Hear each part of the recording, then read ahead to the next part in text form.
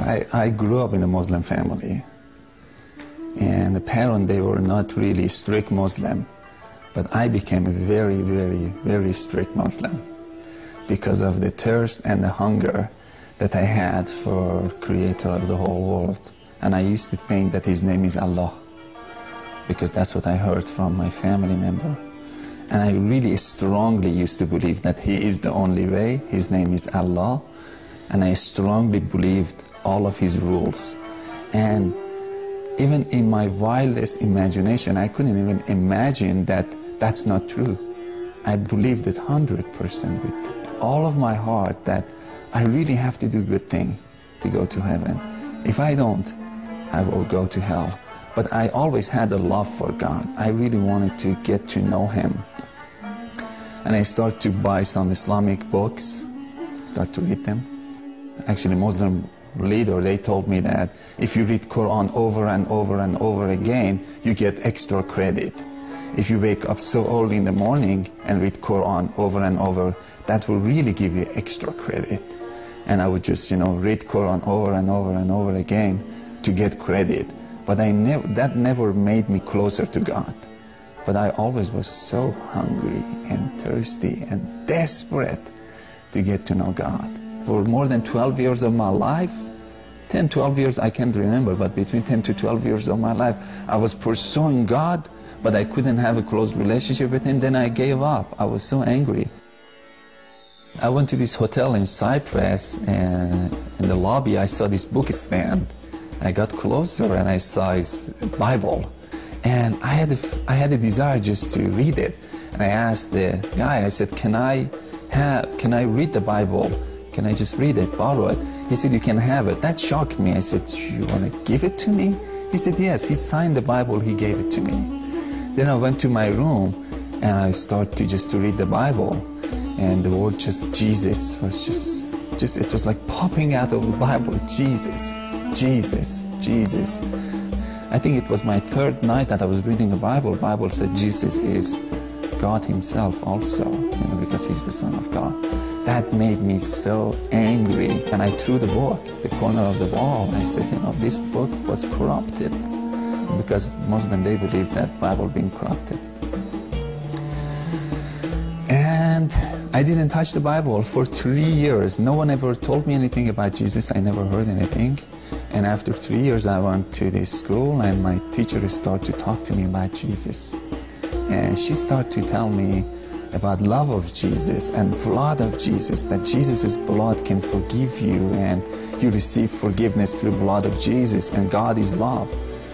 And I couldn't relate that God is love because I never received love from God. I was a slave of God that who he didn't want even to talk to or respond to. And I really, it was in my wildest imagination, I couldn't believe God is love. Didn't make sense to me. Yeah. One night as I was just talking to one of her friends, I felt in my heart, very deep down inside, that I need to pray to Jesus. I said, how can I pray to Jesus? And she said, salvation prayer, which is, you say that Jesus, I receive you as the Lord of my life. I accept your forgiveness and I believe that you're the Son of God. But I was uncomfortable with that. I couldn't say. I wanted to be honest. You know, I want after 12 years of my life being after God, I got to the place that I said, you know what, I need to be honest. I said, can I pray with my own language? She said yes. Because when I was Muslim, my language was different. I had to pray Arabic. I wanted to make sure that if it's okay to pray with my own language. She said, yes, you can pray with your own language. I start to pray and I was so honest with God. I felt I should be honest with Jesus. I said, Jesus, I don't believe that you're the Son of God. I really don't. But if you're the Son of God, I invite you to come to my heart. I don't believe that your blood has any power to forgive my sin at all. But if your blood has any power to forgive my sin, I accept it.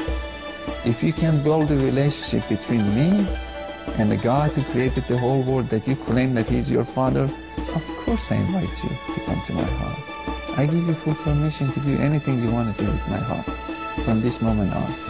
I went to church after that prayer. I felt that I should go. I didn't go to church as a Christian. Still, I went to church as a Muslim. But the Muslim who was so disappointed of God, broken heart. I went as a broken hearted, you know.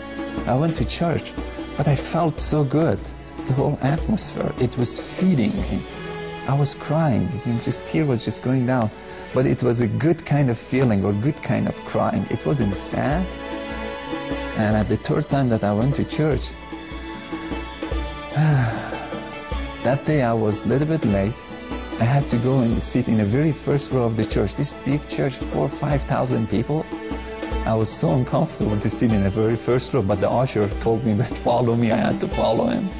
And we couldn't find any seat. We went to the very first row of the church.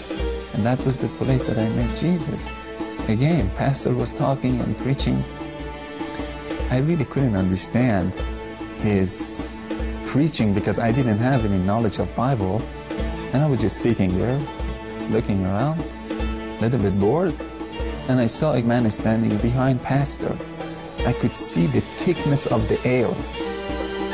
I start to look at him and then he start to walk.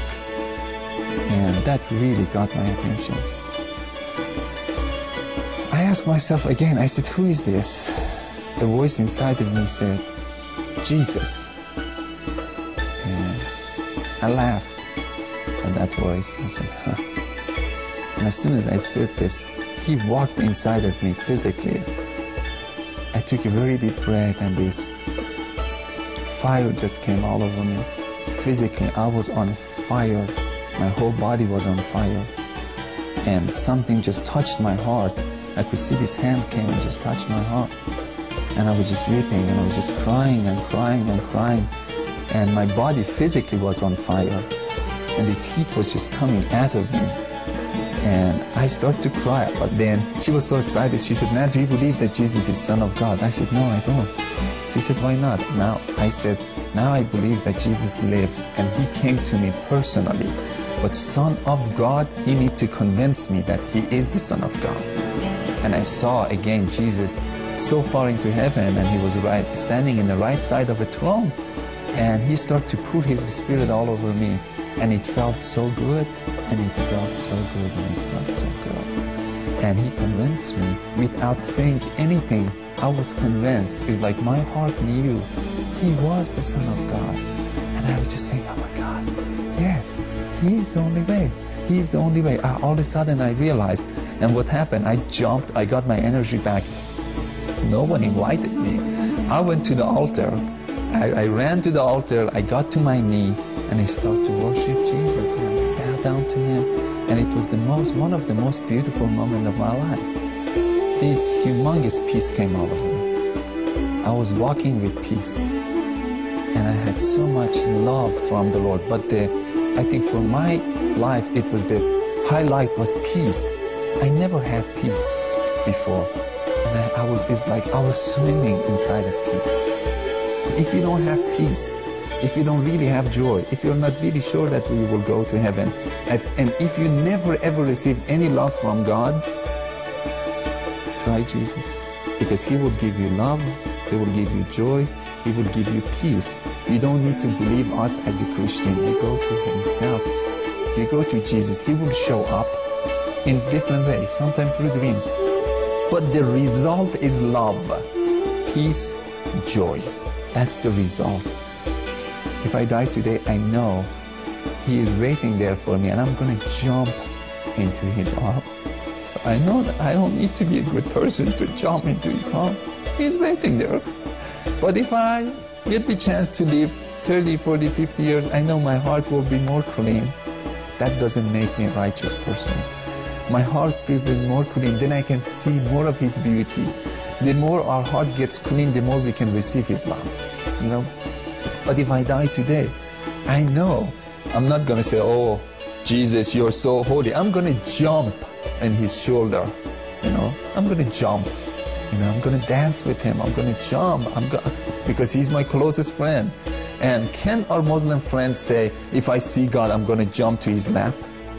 I know it's hard to give up of all of your belief because it's so familiar. Everything that is so familiar, it's easy.